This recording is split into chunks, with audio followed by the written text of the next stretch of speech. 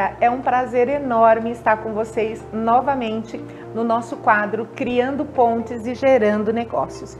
E o nosso tema de hoje, do nosso quadro de hoje, é saúde e segurança do trabalho, ou seja, informação e formação. Vocês viram que nos últimos quadros nós temos endossado alguma e reforçado algumas atividades ligadas à gestão de pessoas, né? E a parte de segurança, gente, ela é fundamental para que a gente possa, para que a gente possa proteger o nosso maior bem dentro da nossa organização, que são os nossos colaboradores. E a dica, gente, é informar, formar, padronizar para proteger.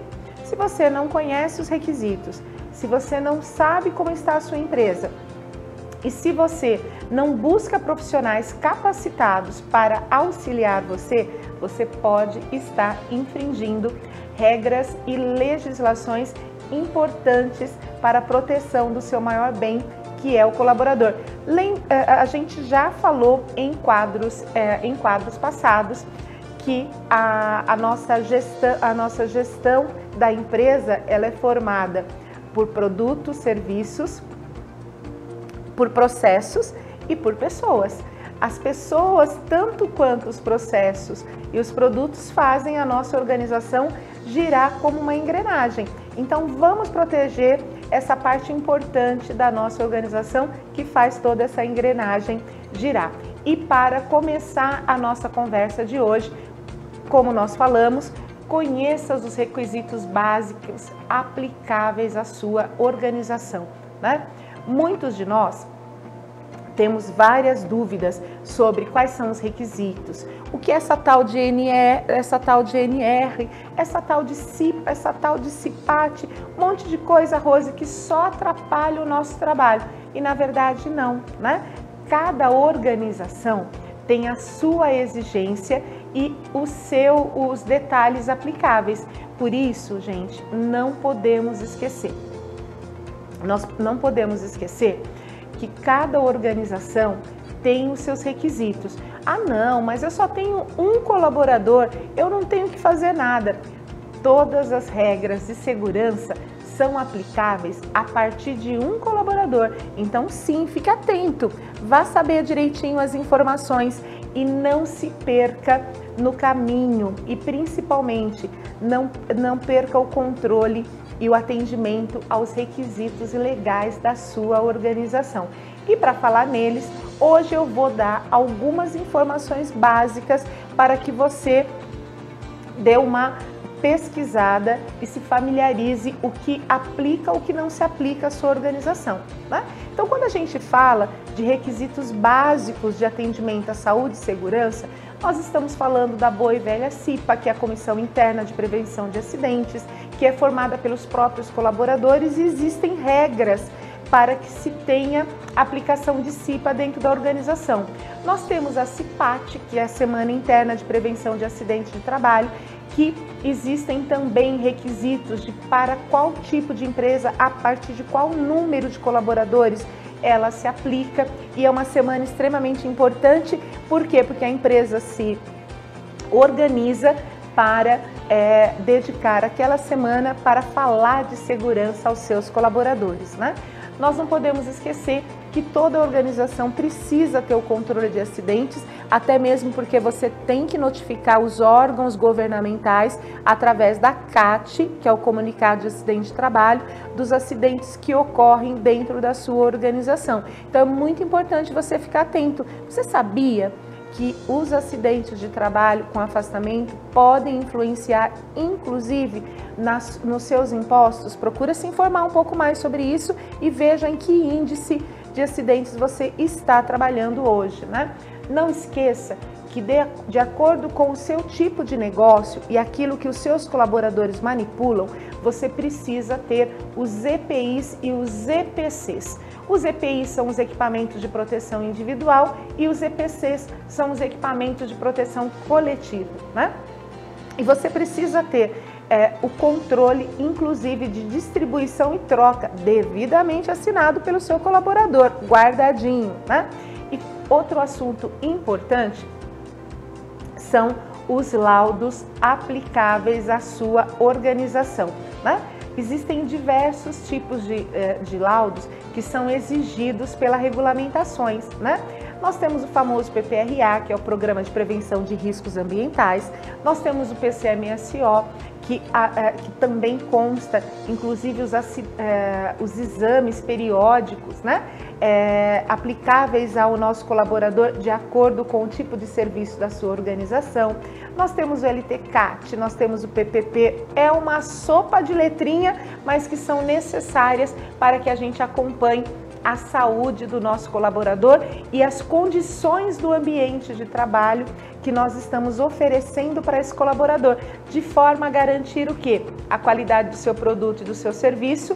Por quê? Porque um colaborador que esteja bem protegido, ele vai com certeza produzir melhor. E uma outra informação importante que faz parte aí, que você precisa se familiarizar, são as NRs, que são as normas regulamentadoras. São elas que definem o que se aplica ou não se aplica ao seu tipo de negócio. E olha, o nosso governo está fazendo já há algum tempo um trabalho incrível de revisão dessas normas regulamentares. Fazia muito tempo que elas não eram observadas, né, revisadas, e eles estão fazendo um trabalho incrível, inclusive para simplificar e ser justo, acima de tudo, justo nessa, nessas exigências. Então é sempre importante você se familiarizar, ter profissionais capacitados, seja terceiros ou seja internamente na sua organização, de acordo com o porte você precisa ter realmente, né, para que você conheça as dicas e as informações necessárias para esse trabalho. E olha, gente, hoje a gente vai dar a dica do nosso espe especialista, que é o nosso parceiro da Pereira Prado.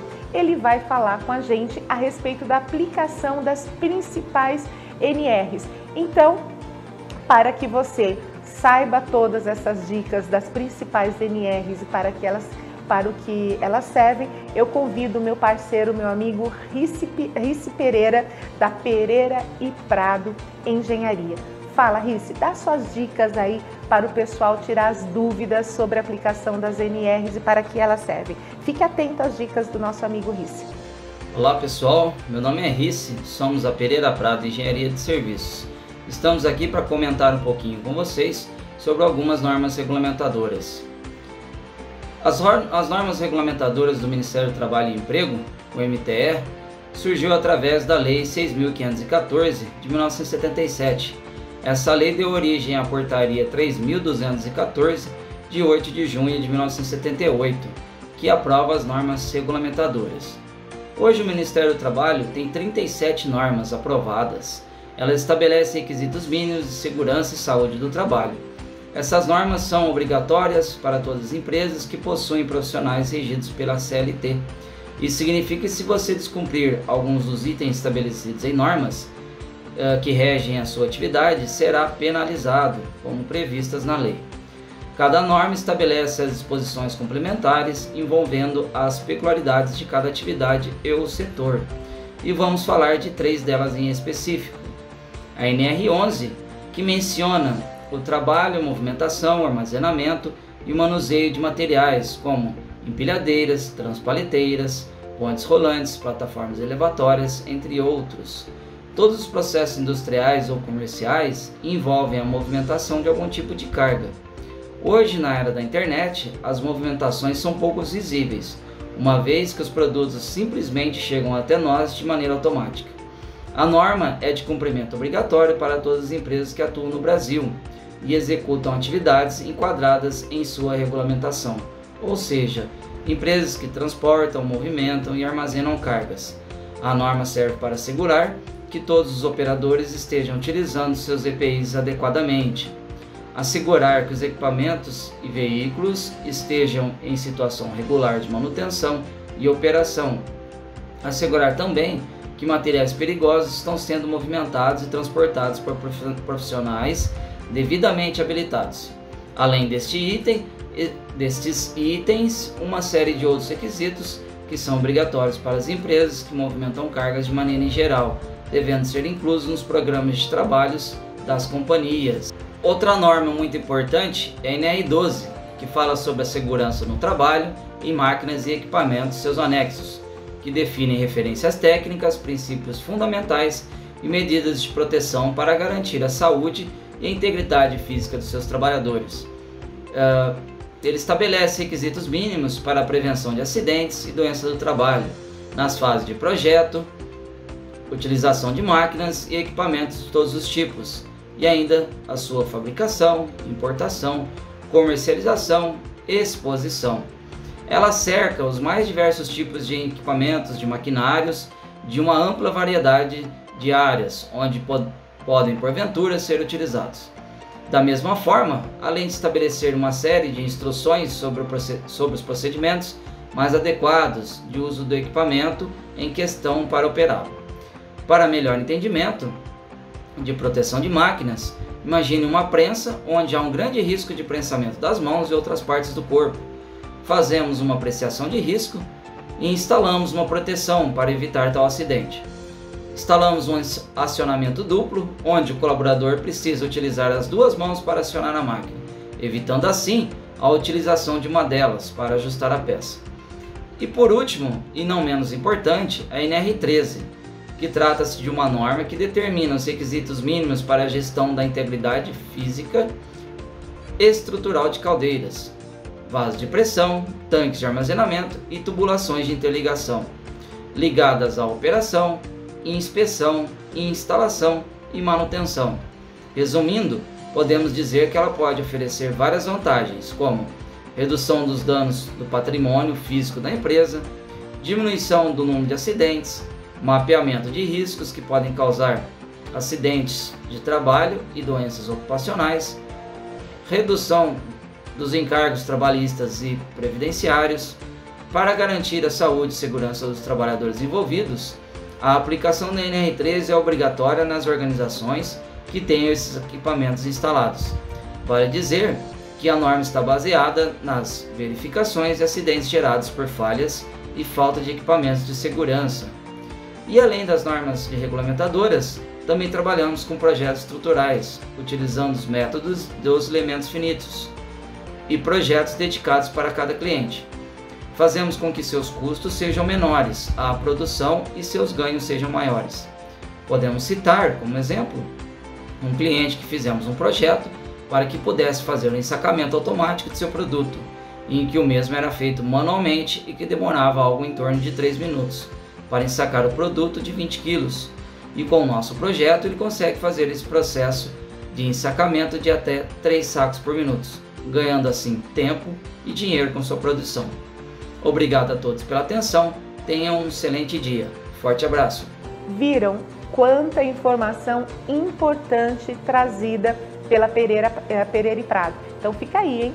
Se você precisa dar uma reformulada na gestão de segurança, saúde e segurança do seu trabalho, eu convido vocês a procurarem a Pereira e Prado através do, meu amigo Rice Pereira nas mídias sociais para que eh, eh, ele possa avaliar como está o atendimento às, às suas às NRs pertinentes ao teu negócio. E se você quiser conhecer mais é, parceiros da Alcântara Administração e Treinamento, eu convido você a procurar nos procurar nas nossas mídias sociais. Eu tenho certeza que é, você vai encontrar um parceiro ide ideal, seja na área de recrutamento e seleção estratégico, seja como assistente virtual, seja no, no, na prestação de serviço de cadastro, é, de cadastro de produtos né, e cadastros gerais na sua organização. Você que está mudando de sistema, está precisando de apoio para reformular a sua parte cadastral aí dentro da empresa, procura Alcântara, nós podemos ajudar você no traba nesse trabalho. Agora, se você precisa também de consultoria na parte de supply chain e logística, pode nos procurar. Nós temos o parceiro ideal para te ajudar nesse tipo de atividade. Precisa de, uh, precisa de apoio em gestão? Em gestão jurídica, nós temos o nosso parceiro da WB Advogados Associados, que também está à sua disposição para esclarecer todas as suas dúvidas sobre gestão jurídica. Quer mais? Procure o RICE, da Rice Pereira Prado. Ele vai te ajudar a analisar todas as suas exigências aplicáveis. E não esqueça da minha não mais importante, a minha amiga e a minha querida parceira Gab, é, Gabriela Zacarioto, que cuida e vai te dar um monte de dicas aí para você arrasar nas mídias sociais. Então é isso, gente. Alcântara tem aí parceiros adequados para a sua organização. Então vem com a gente, procura a gente nas mídias sociais. Vai ser um prazer tê-lo como meu parceiro e tê-lo como meu cliente também. Foi um prazer estar com vocês nesse quadro de hoje. Nos vemos novamente no nosso próximo quadro. Até mais!